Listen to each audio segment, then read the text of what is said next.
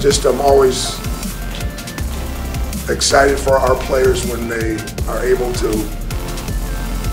take care of every possession and then put the game in position to actually get the score at the end. This is a Butler team that's in second place with only three losses, a 9 and 1 Butler team since January 1st. So a team that's been playing some hot basketball.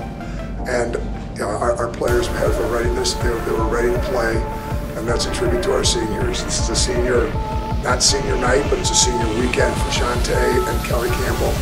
And you know, I, I, I think the team feeds off their desire to have a great season in their senior year.